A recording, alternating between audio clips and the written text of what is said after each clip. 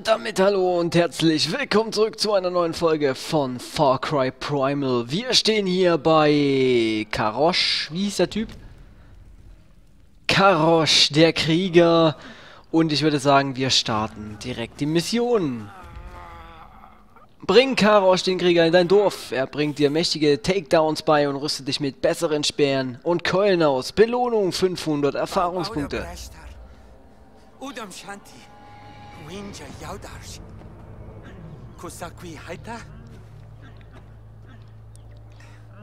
Okay, ja. Hilf dem Venya-Krieger. Machen wir doch gleich mal.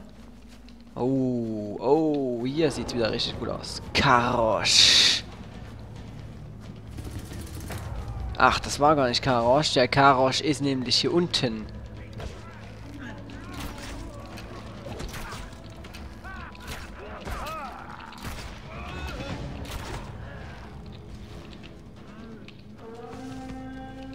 Oh,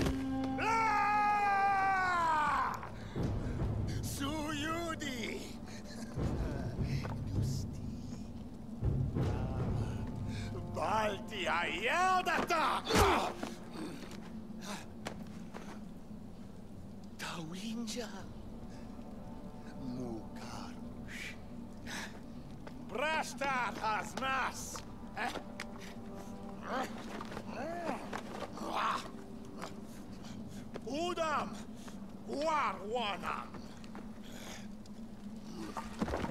Mog! Mog, me fakui hinacha! No mi sushnu! Mog, mi sushnu hugwan!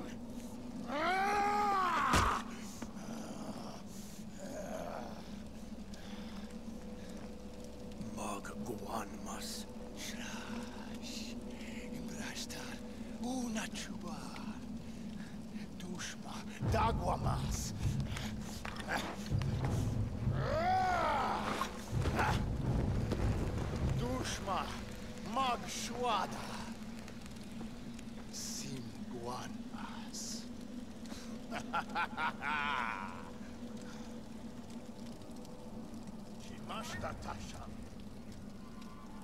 Wirf die Udam-Leichen in das Lagerfeuer. Na dann.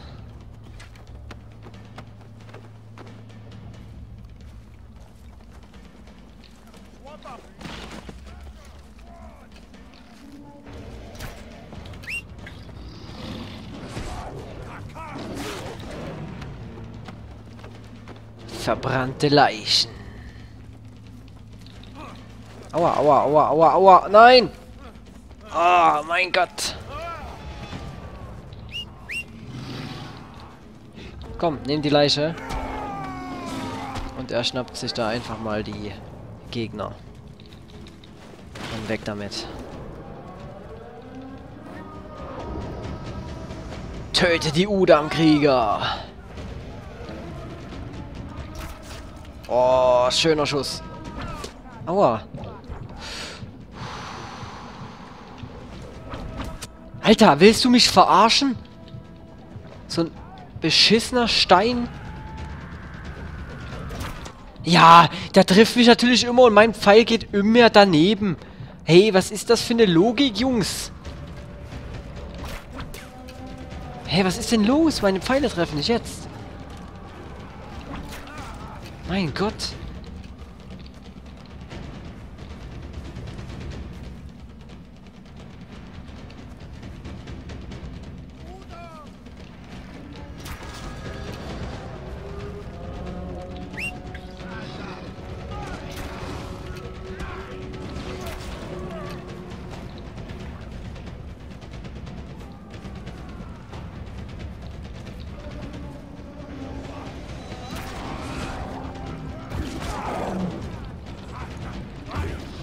Oh, weia.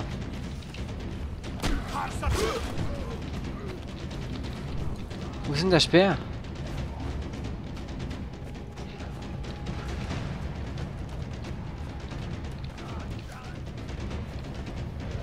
Hä, wo denn? Erst ist es da und plötzlich hinter mir. Nein, nein, nein, nein, nein. So geht das aber nicht, meine Freunde.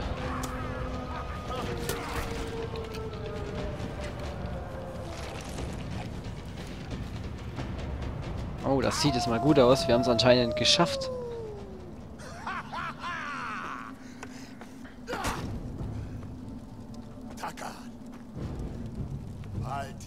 Barta. Na, natürlich.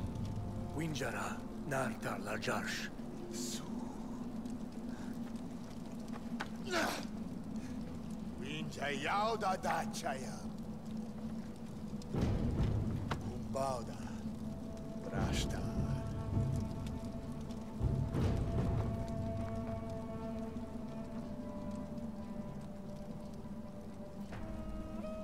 Der treffsichere Erfolg freigeschaltet. Ja, und damit haben wir auch schon Karosh, den Krieger, freigeschaltet. Das heißt, wir können ja theoretisch ähm, direkt zum Lager zurückkehren und dort ähm, ja, sein Zelt ausbauen, weil ich denke, das müssen wir auf jeden Fall wieder. Weil jeder hat seine Hütte. Auch er. Aber vielleicht können wir ja die Mission, ja, weil die Mission von Saila ist ja direkt noch hier in der Nähe. Dann würde ich fast sagen, wir nehmen einfach Sailas Mission noch mit und kehren danach zurück zum äh, Hauptquartier. Hauptquartier klingt ein bisschen, naja, ihr wisst schon, was ich meine. Zu unserem Lager, zu unserem Hauptlager. Dahin kehren wir dann zurück. Aber wie gesagt, wenn wir einmal hier sind, da kann ich natürlich auch gleich diese Mission hier noch mitnehmen. Das wäre ja sonst etwas schwachsinnig. Suche die Knochenhöhle nach dem vermissten Venja-Jäger ab. Fußspuren des Jägers. Wir nehmen natürlich wieder ein bisschen Holz mit, immer schön. So, wo ist der hin? Wo ist der hin? Der muss hier hoch sein. Da oben geht's weiter.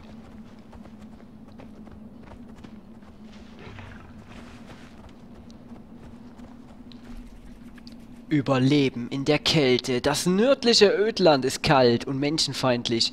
Mit deiner aktuellen Kleidung würdest du in Kürze erfrieren. Um zu überleben, solltest du ein Lagerfeuer zum Aufwärmen entfachen und Rohstoffe suchen, mit denen du im Handwerksmenü verbesserte Kleidung herstellen kannst. Oh, das ist auch hier ein bisschen jetzt wirklich Survival-lastig. Wir brauchen sozusagen... Was brauchen wir denn eigentlich für verbesserte Kleidung? Aber kann ich die schon bauen? Ich kann die noch gar nicht bauen, oder? Die Kleidung? Wo ist denn die Kleidung? Winterkleidung. Also ich könnte sie schon bauen.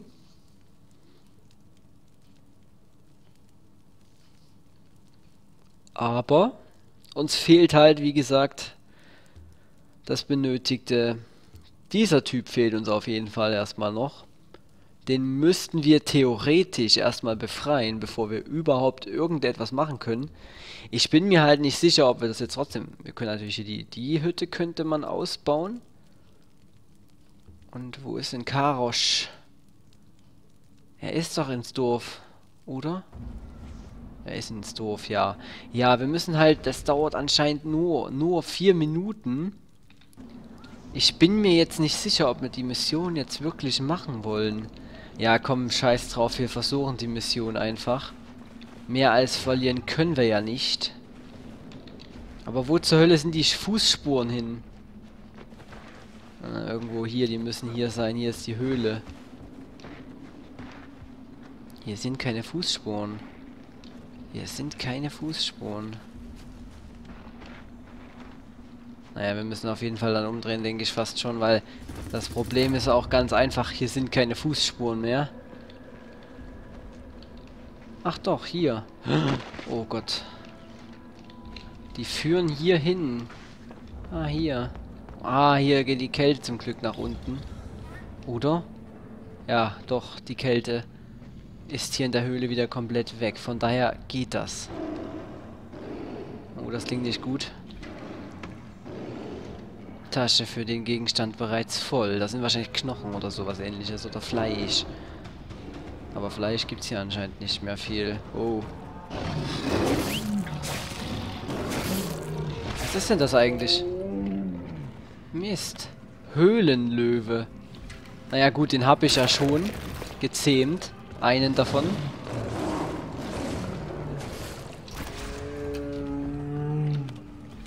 Aber das Fell können wir ja noch mitnehmen. So, wir müssen jetzt dem Typen weiter folgen. Der ist hier entlang. Der ist hier gewesen, an dem Rucksack. Kann ich den mitnehmen? Grünblatt. Und wo ist er danach hin? Hier gibt es keine Fußspuren mehr. Da. Hä, dann war er wieder hier? Was ist das für eine Logik? Ah, hier.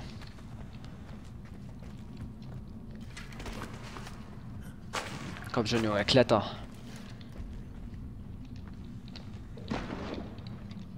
Aber hier sind die Fußspuren wieder von hier in diese Richtung. Der ist wieder hier nach oben gegangen. Oh, hier ist er doch. Gib dem Jäger die Heilpflanze.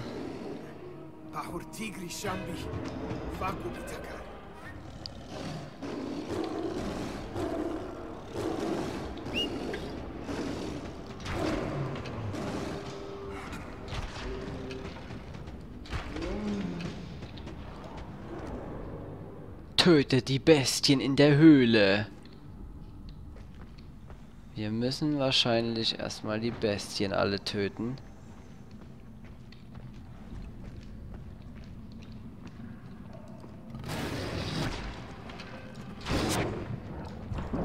Oh mein Gott.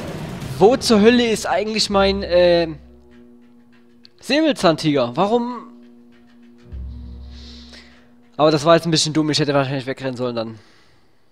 Das Problem ist einfach, ich bin nach zwei Schlägen einfach mal Mause tot. Ja, es speichert natürlich genau bei einem Gegner. Warum nicht? Kann man ja mal machen. Mein Gott. Manche Speicherpunkte, die sind so asozial.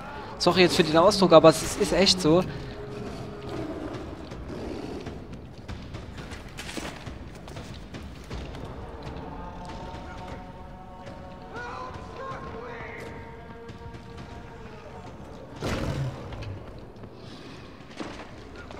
Komm, jag ihn, jag ihn, komm.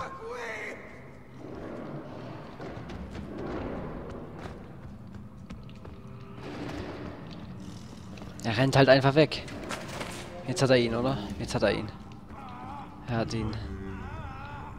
Finde den Venja-Jäger.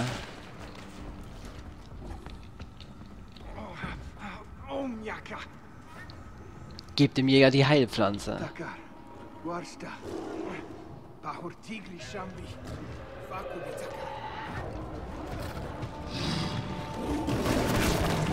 Ähm. Ah, schnell drücken. Go, go, go, go.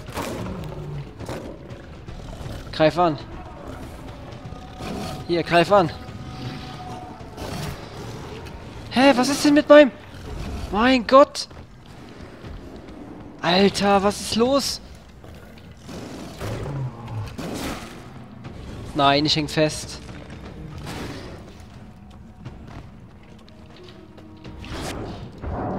Was ist denn kaputt? Wie soll man das schaffen? Mein, mein... Alter, mein Kollege macht gar nichts. Greif ihn doch mal an, verdammt.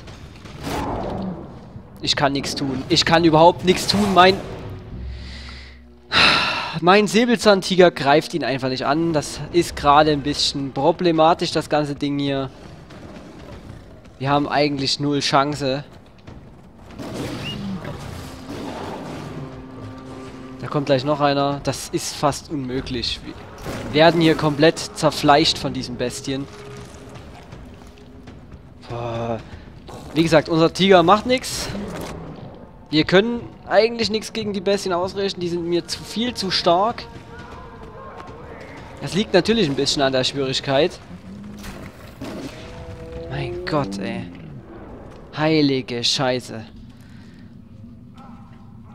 So, jetzt haben wir erstmal die erstmal erledigt. Aber da kommt jetzt gleich wieder mehr von denen.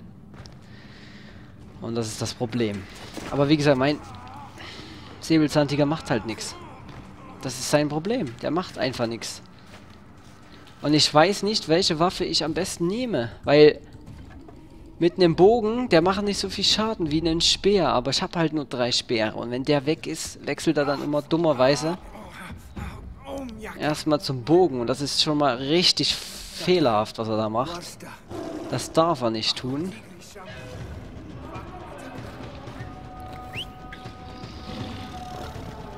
Und ich glaube, das eine war auch ein Säbelzahntiger, wenn ich das richtig gesehen habe. Ja, sehr schön. Aber nur der ist tot.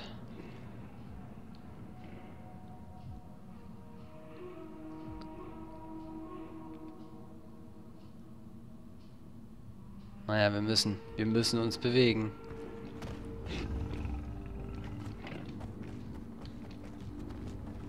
Töte die Bestien in der Höhle, ja, meine lieben Freunde. Das wird natürlich jetzt ein bisschen problematisch, wenn das ein Säbelzahntiger ist. Der, das sah aus wie ein Säbelzahntiger und ich glaube, es ist auch einer. Hier, bleib doch mal bei mir. Warum rennst du denn davon? Ja, das ist ein Säbelzahntiger. Oh ja, er ist tot, Mann. Oh. Das waren jetzt aber zwei, drei gute Speere. Voll in den Kopf und oh, Gott sei Dank. Gott sei Dank, wir haben es geschafft. Eieiei.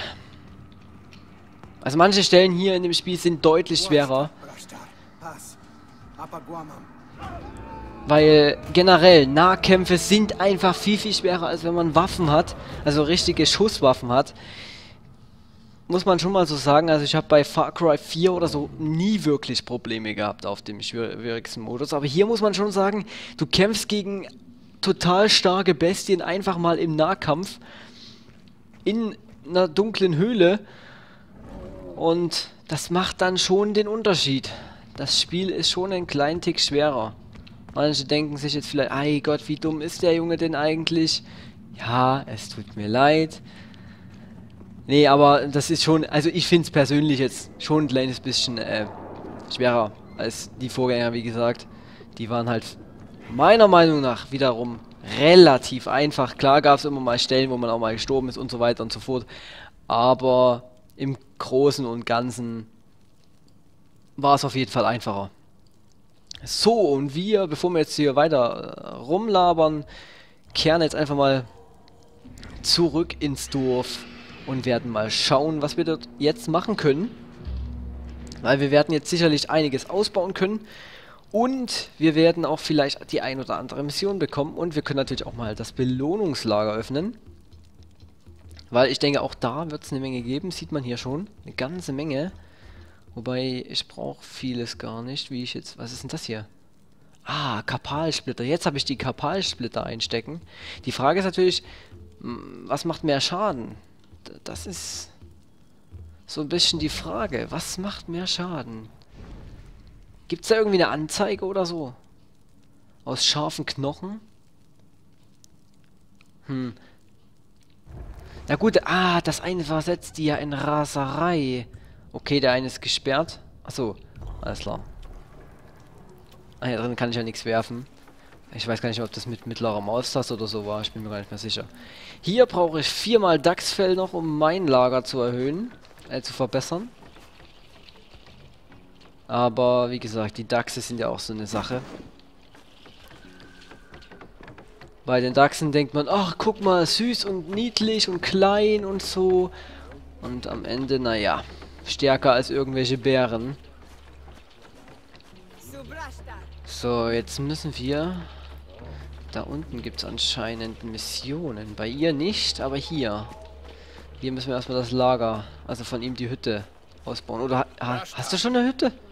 Ist das deine Hütte? Freund? Narshbal, Karush?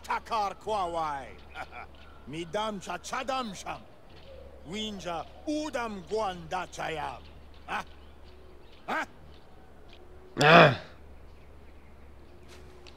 So. Upgrade. Ja, äh, wie gesagt, du hast zwar ja schon eine Hütte. Na, ich nehme mal. Ja, Taka nimmt dir das Ziegenfell weg. So, dann bauen wir uns mal diese Hütte hier aus. Oder wir bauen eine neue sozusagen. Das andere war wahrscheinlich eine ganz normale Wohnhütte. Und jetzt haben wir die Unterkunft für Karosch gebaut. Kriegerfähigkeit, zweihändige Keule, Winterkleidung. Ach, das ist der... Ka ah, bei dem kann man die Winterkleidung jetzt bekommen. Ach, ist das cool. Ey, ich kann die doch jetzt schon bauen, oder? Kann ich das nicht, nicht direkt... ich habe mir jetzt gerade direkt Wolfsfell verschwendet. Okay, wir brauchen auf jeden Fall Wolfsfell. Aber, was geil ist, wir können die zweihändige Keule bauen. Zweihändige Keulen verursachen großen Schaden im Nah- und Fernkampf. Sie sind schwer und langsam, also wähle deinen Angriff mit Bedacht. Ja, wir schauen uns die... Waffenwechsel. Du hast gerade eine neue Waffe freigeschalten. Du kannst mehrere Waffen desselben Typs in deinem Handwerksmenü freischalten. Halte Q gedrückt, um das Waffenrad zu öffnen und zwischen Waffen desselben Types zu wechseln. Wähle eine Waffe und drücke Mausrad hoch oder Mausrad runter, um zwischen Waffen desselben Types zu scrollen. Ja, aber das wissen wir ja schon, das haben wir ja schon gemacht, aber die Keule sieht schon mal richtig geil aus, wie ich das gerade gesehen habe. Was ist denn das für eine... Was sind das für Missionen? Interessant. Dorfmission, rede mit Manu. Ja, bevor wir das aber machen, würde ich gerne erstmal mit dem Kollegen hier reden.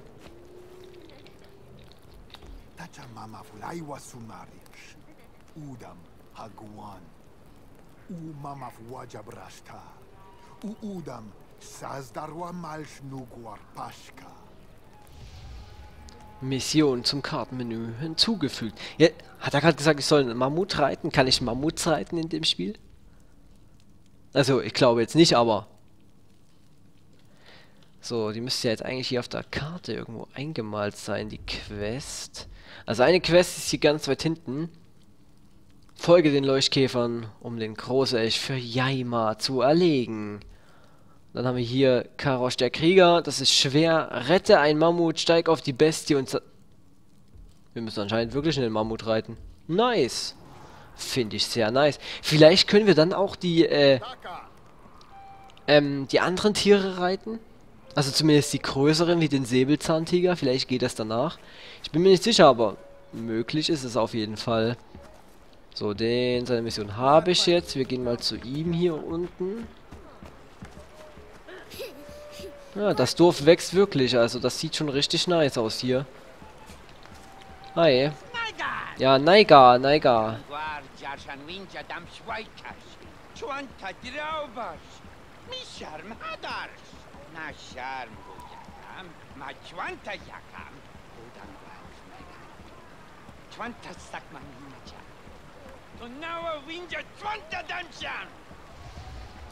Also solange du mich Pissemann nennst, ne, mach ich für dich gar nichts. Kannst vergessen. Das kann doch nicht sein hier. Aber, naja gut. Wir wollen mal nicht so sein. Da unten ist seine Mission, also eigentlich wahrscheinlich das nächste Ziel, schätze ich jetzt was. Es sei denn, die Mission hier oben ist noch ein bisschen näher. Weil, wie gesagt, wir können ja alles ein bisschen mitnehmen. Gehen wir. Na, wenn ich jetzt hier reingehe, kommt auf jeden Fall wieder eine Vision. Das lasse ich jetzt lieber mal. Denn in sieben Minuten werden wir das auf jeden Fall nicht schaffen. Also ich glaube, wie gesagt, dass eine neue Vision kommen wird. Können wir denn noch was ausbauen? Wir können anscheinend noch was ausbauen. Das ist hier Tensais Hütte. Könnte man noch ausbauen. Wo ist eigentlich Tensai? Ten Tensai ist doch da drüben, oder? Naja, wir schauen... Ja, wir müssen an seinen Stein rangehen, dann können wir die ausbauen. Wir müssen ja nicht die Mission starten. Aua, aua, aua, aua, aua. Ich will ja nicht im, im Dorf sterben. Das wäre dann, dann wahrscheinlich etwas peinlich.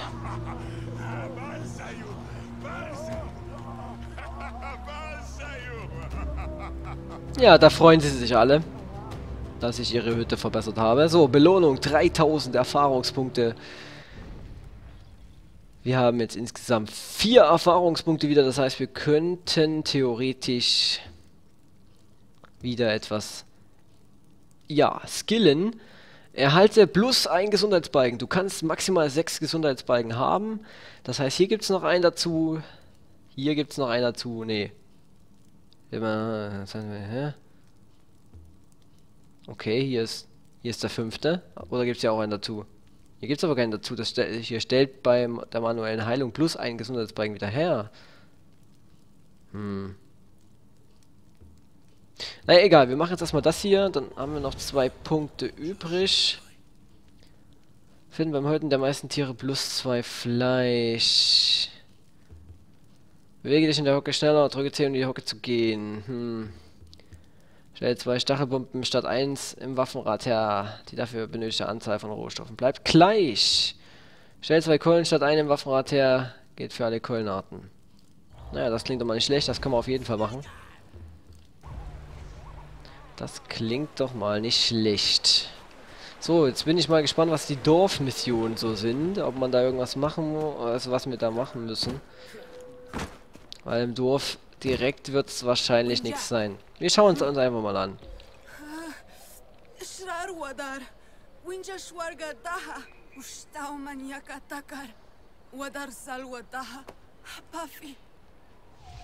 Mach Wasser gut für Trinken. Hm.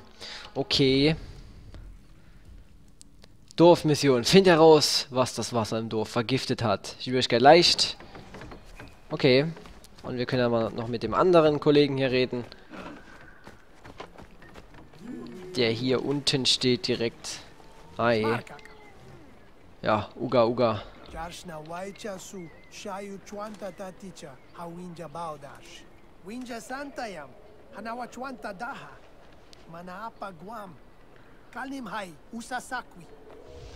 Ja, Geistertotem.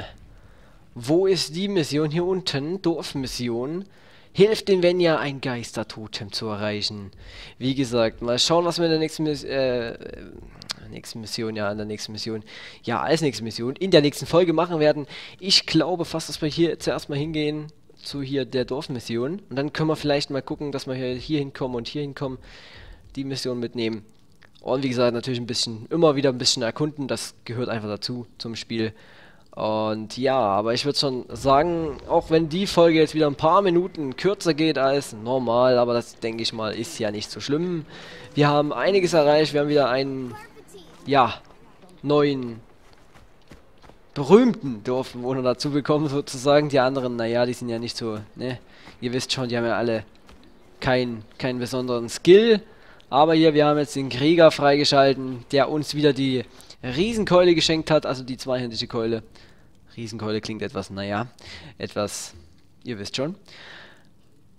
So, und dann können wir nämlich auch die Winterkleidung herstellen. Das heißt, wir müssen aber noch zwei Wölfe jagen, aber das dürfte ja eigentlich kein Thema sein. Die rennen eigentlich in Massen rum, vor allem nachts. Also, das soll da alles kein Problem sein.